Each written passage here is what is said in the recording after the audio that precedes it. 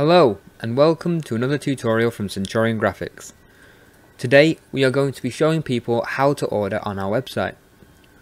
Ordering bespoke printing plates can appear to be complicated, but the aim of our website and this tutorial is to make this process as easy as possible for you.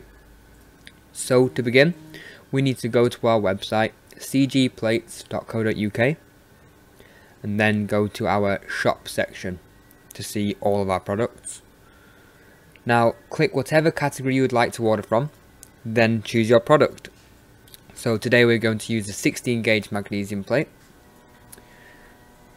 Here we have our price calculator page.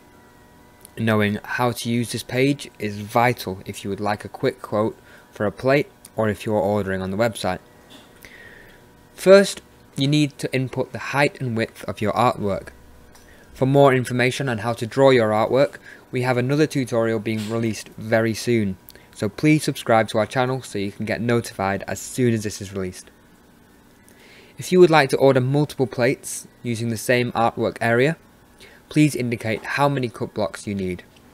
So if I wanted to order three 16 gauge plates, I would put 3 blocks here. If you would like us to drill holes into the plates, please indicate how many sets of holes you would like. This is useful if you need to attach your plates by screwing them down to your base. Please note that these are priced in pairs, so if I wanted 4 holes drilled onto my plate, I would put 2 pairs into the calculator. If you would like a centre removed to fit other plates inside your plate, please indicate how many holes you would like us to remove. This option is often used a lot by rosette printers.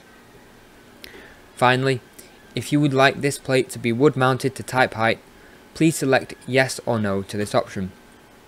This is used by customers who do not have a base or are mixing this plate with existing movable type plates. Please note that if you would like the plate to be wood mounted, you will need to add an extra 2 centimeters to the artwork dimensions on each plate and this will give us room around the plate to pin it to the wood block. This is going to be covered in more depth in our next tutorial so don't worry about this too much just yet. So now that we have our price, all that is left for us to do is attach our artwork. So to do that, click over here, choose your file and then press the upload selected files button. And then once this is loaded, we can add our order to the cart. If you have any other plates to order, you can add them to the cart and order all your plates at once. Once you're ready to proceed with the order, please choose your postage option and then click proceed to checkout. The rest of the order process should be fairly self-explanatory. You just need to put your delivery address and payment details in and you should be good to go. Thank you very much for watching this video if you have any problems or questions regarding this, please do not hesitate to contact us. We look forward to seeing your first order with us.